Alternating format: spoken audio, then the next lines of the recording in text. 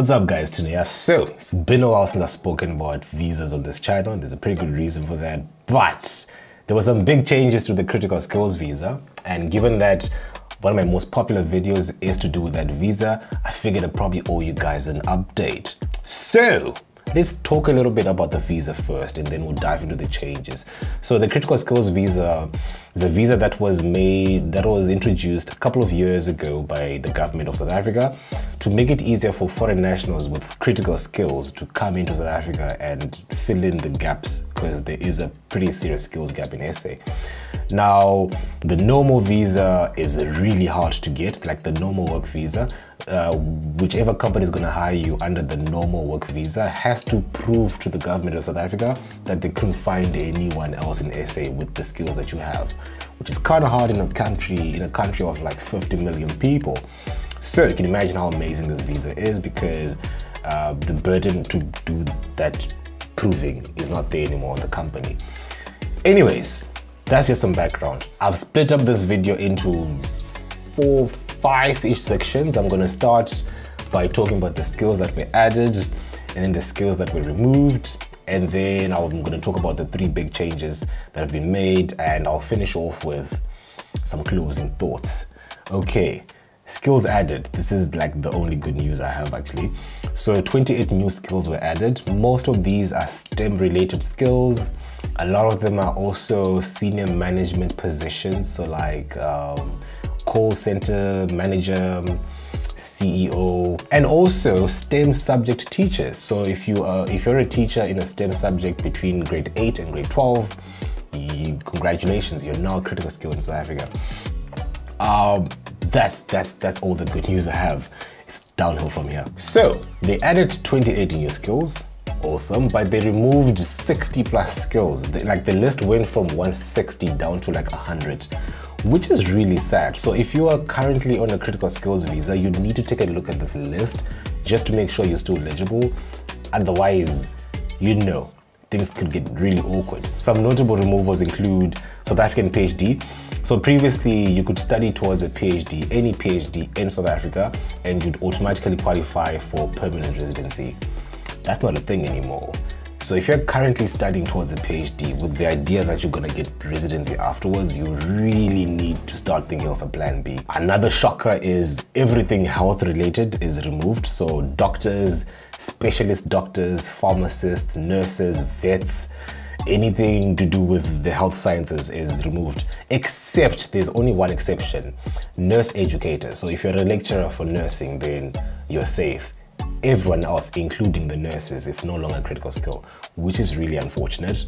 Um, I've seen a trend here, like they, there's there's definitely great need for teachers in South Africa because they've added teaching positions and they've kept teaching positions and lecturing positions. So I find that interesting. Anyways, I'm not going to list everything. I'm going to leave an, a link to an article that discusses this in a bit more detail. But um, yeah, that's that's it for now. Okay, now, next update is NQF levels. Now, NQF is how South Africa measures education, your level of education. So you've got NQF level 10, which is the highest, so that's a PhD. Then you've got NQF level 9, which is a master's degree. So they've increased the NQF level that's required for like a lot of these roles. So previously, if you could qualify with an NQF level 7, this might has, might have been bumped to like an NQF level 8 and so on. So you need to take another look at this because a lot of people study three-year degrees, for example, um, because you know it's a three-year degree and don't do honors and would qualify for a critical skill. But now you might need to actually have an honors degree to qualify for a critical skill. So but I've, I've left a list with all these different skills. So go check it out and see if you're still eligible so yeah, that's that's the NQF level increase update. The next update is a very sad one because I'm I, I I I it affects me three years ago. Anyways, that's the permanent residency waiver. So, okay, so first of all, the critical skills visa requires five years of work experience. So you, you need five years of work experience on top of all the other requirements. And you also need to join a professional body in South Africa, which can be a massive hassle because they also have their own requirements. So this made it really hard for graduates from South Africa to like like foreign graduates in South Africa to get jobs after graduation because you obviously don't have all the experience. You wouldn't qualify for this visa. So in 2016, the, the minister, the foreign, the immigration minister created waivers. So basically, if you studied towards a critical skill in South Africa, you immediately qualify for permanent residency after you graduate, which would make it significantly easier to like look for jobs and stuff. That's not a thing anymore. Yeah, if you graduate from a South African university, you, you, you now need five years to get a critical skills visa. Uh, yeah, this one is really sad because I used this waiver to get my permanent uh, residency. And it's really unfortunate that uh, I actually have a lot of friends that were waiting. Like during the pandemic, they stopped uh, permanent residency applications and then when they started again they, they started by they first removed this waiver and then like yeah it, it was really messed up. So this one hits really hard because it yeah i know it affects a lot of people that i know. So unfortunately that's a thing. Anyways moving on uh, the next big change is the one year critical skills visa.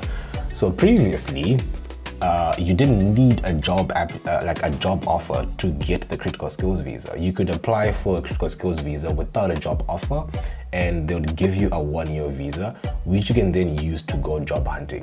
Now that was very necessary because most companies in South Africa will not even look at your CV if you don't have a work visa.